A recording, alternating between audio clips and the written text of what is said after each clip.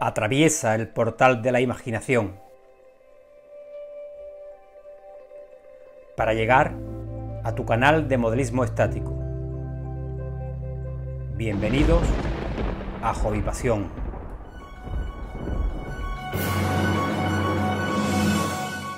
Hola amigos, en el programa de hoy, Paco Naranjo realiza el pintado del terreno de Sir Lancelot. Bien, pues eh, comenzamos ya de lleno con, con la decoración del terreno. Y, y para ello pues hemos comenzado por darle una especie de capa de imprimación a las partes a las partes que no en las que no están eh, la tierra eh, cubierto del marrón este de color tierra ¿vale? Le hemos dado una capa de imprimación en negro a pincel, ¿ok? Ahora seguiremos dándole un poco más con otros colores que os iré diciendo, pero primeramente una capa de imprimación de negro a pincel. Y a continuación, con, la referencia de, de pintura al óleo de la marca Arteilum, esta que os enseño a continuación. Aquí la tenéis. Os enseño la caja para que tengáis referencia. Teuron, la referencia, la referencia es el color eh, gris eh, ABT100 Neutral Gray, ¿vale? Hemos dado una capa de pincel seco por toda la parte, ¿vale? Que nos interesa de roca en principio sería una, una capa una capa primera vale y después con diferentes colores que os iré mostrando iremos eh, acabando acabando esta esta fase de pintura de lo que son las partes de roca ok una vez hecho esto vamos a proceder a aplicar eh, con la técnica del punteado con un pincel plano un pincel eh, bacho de cerdas duras, vamos a ir aplicando un pincel seco con punteado con esta referencia de Model Color Vallejo. Ok, vamos a ir punteando este color eh, verde, amarillo, ¿eh?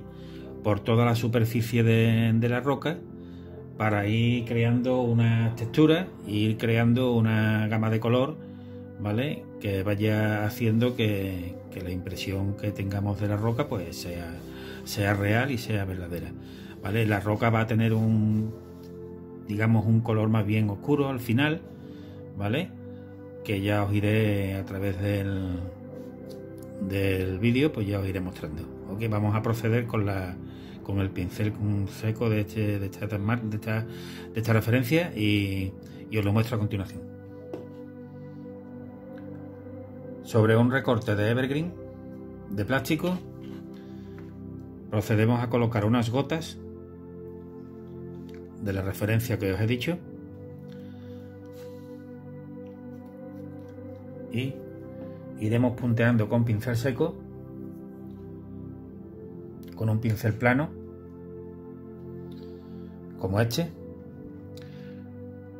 vale iremos punteando por todas las zonas que nos va interesando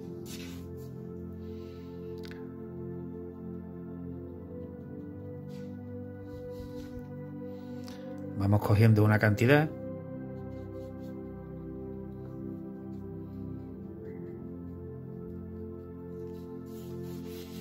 Y vamos punteando por las zonas donde nos va interesando, sobre todo de la parte, como os he dicho, de roca. Toda la parte de roca vamos punteando y vamos creando digamos que una textura, ¿vale?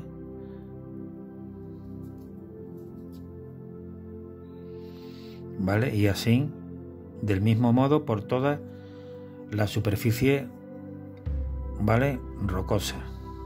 ¿Ok? Bien, no sé si se puede apreciar, pero una vez dado el... Creo que sí, ¿vale? Estoy viendo en pantalla que que sí, que se ve claramente el punteo que le hemos dado a pincel seco o semiseco en las zonas que nos interesan, que son la unión de eh, la tierra con las rocas, ¿vale? ¿Eh? En esta zona es donde le hemos aplicado eh, este referencia de Vallejo, verde amarillo. Y, y a continuación vamos a aplicar unas luces, ¿vale? Con la referencia que anteriormente os enseñé, con esta que está aquí, la Stalum, ¿vale? También a pincel seco, ¿vale? A grosso modo por todo lo que es eh, la parte de, de rocaje, del rocaje vivo, como decía un humorista de televisión. Eh, ¿Vale? Y ahora vamos a ir aplicándolo, ¿ok? Bien, para esta parte lo mismo, sobre una plancha de Evergreen que ya no vamos a utilizar para otros menesteres, eh, aplicamos un poquitín de óleo eh, de la referencia mencionada y con una brocha bastante grande, ¿vale? Que nos coja la mayor superficie posible para ir dando luces a grosso modo, eh, sobre todo una extensión amplia. Luces máximas vamos a añadir este gris y posteriormente en las máximas un poquitín de blanco. ¿Ok? Lo veis aquí, gris y un poquitín de blanco. ¿Vale? Y vamos a ir extendiéndolo a todo lo que es la, parte de, de, la roca. Secamos bien sobre una servilleta el pincel y ahora con mucho tacto y con mucho cuidadito, ¿vale? Vamos aplicando la misma técnica que antes de punteo allá donde nos vaya conviniendo, ¿vale? Para ir dándole una textura a las rocas. ¿Ok?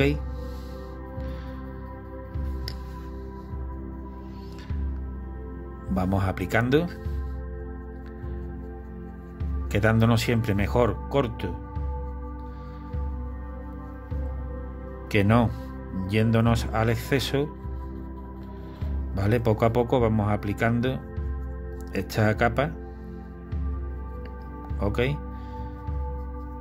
que después iremos añadiendo blanco para darle unas luces máximas. Yo sé que el pincel seco es una técnica eh, un poco, digamos, yuyu, por llamarlo de alguna manera, un poco denostada, ¿vale? No se suele aplicar mucho, pero bueno, para algunas cosas eh, sí que es muy práctica, muy útil y muy versátil para para ciertas cosas como ejemplo que tenemos delante lo que estamos haciendo.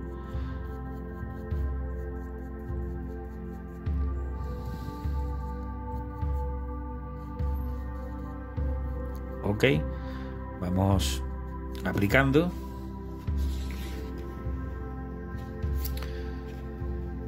Yendo muy despacio, controlando mucho la cantidad de óleo que vamos depositando con la que vamos trabajando para no pecar de exceso y empachar la zona que estemos pintando. No os importe el hecho de que tapéis, eh, tapéis el verde que hemos dado anteriormente un poquitín con esto, ¿vale? Porque posteriormente daremos también otra pasada para aumentar un poco ese verde que tenemos ahí, ¿vale? Vamos como he dicho anteriormente, depositando, ¿ok?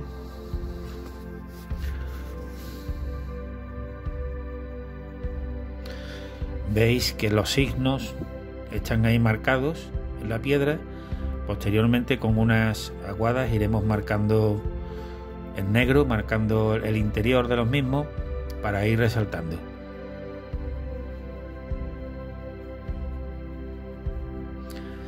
Esta técnica es muy sencilla, aunque bueno, también tiene su, su parte de, de control y de saber aplicarla.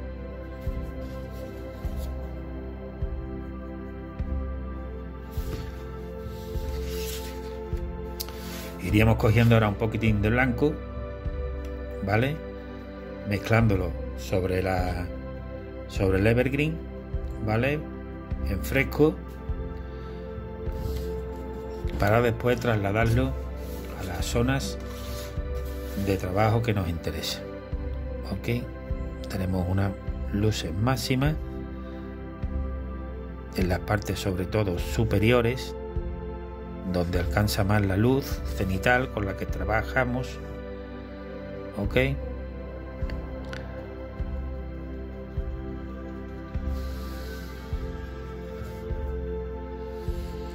vale y así vamos alcanzando el color que nos va digamos que interesando para toda la roca ok allá donde vaya necesitando un poco más de blanco le vamos añadiendo un poco más de blanco pero ya les digo con mucho control y cuidando siempre de no pasarnos en la aplicación para que no empachemos la zona ni resulte tampoco un trabajo demasiado burdo ¿vale?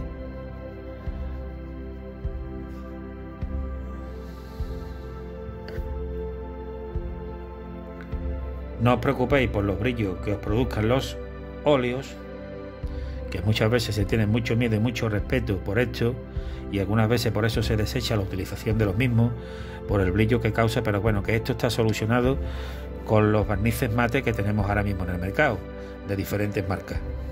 ¿Ok? Los cuales podemos utilizarlo y matear la zona que nos interese.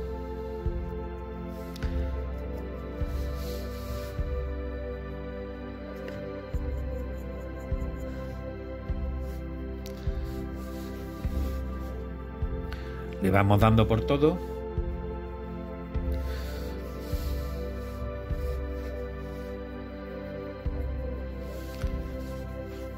Ok.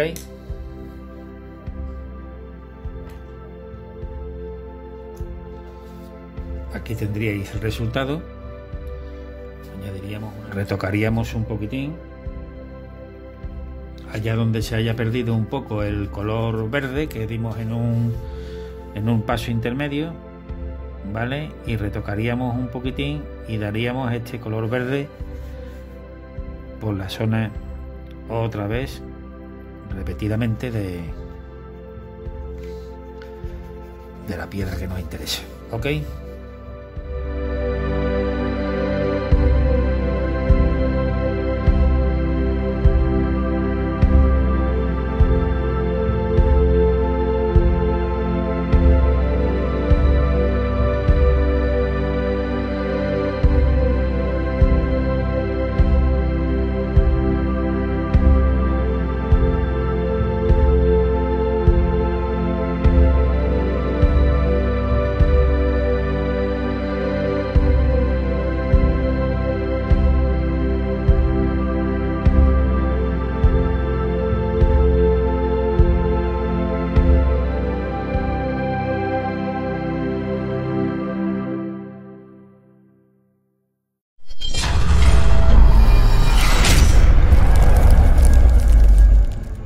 Nuestros patrocinadores tienen la gentileza de aumentar el descuento en sus productos hasta el 10%. ScaleWorld, especialista en modulares para nuestra mesa de trabajo, ya llevaba unos meses aplicando el 10% de descuento a nuestros suscriptores y seguidores. Y ahora, Model Expert RC, juguetería técnica, se suma a esta iniciativa duplicando su descuento hasta el 10%. Model Expert, como podéis ver en estas fotografías, cuenta con un extenso surtido en maquetas y materiales para nuestro hobby. Están actualizando su web y por ahora aparecen pocas referencias de kit en plástico, pero podéis contactar con ellos y pedirles lo que necesitéis. Veamos algunos ejemplos ahora que se acercan las navidades. En esta espectacular cabina de pintura tendríais un descuento de 16 euros. En este conjunto para aerografía ahorraríais 18 euros. Pero en este magnífico kit en madera de la nao Victoria 22 euros y en el de la Santísima Trinidad 46 euros de descuento.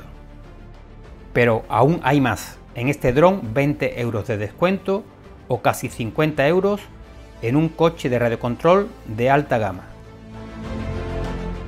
Y podéis beneficiaros de la gran variedad de productos de su amplio catálogo. E igualmente en Scale World Solo con poner el cupón Pasión al finalizar la compra se os aplicará el 10% de descuento en sus magníficos modulares para nuestra mesa de trabajo y en todos los productos que tienen para nuestro hobby.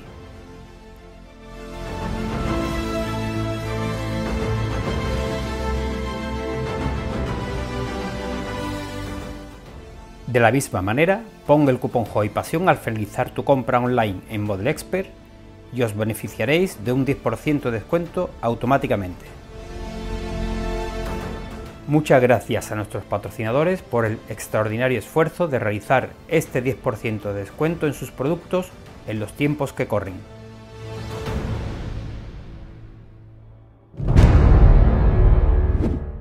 Para seguir mejorando y creciendo, dándole al like de los programas y suscribiéndote.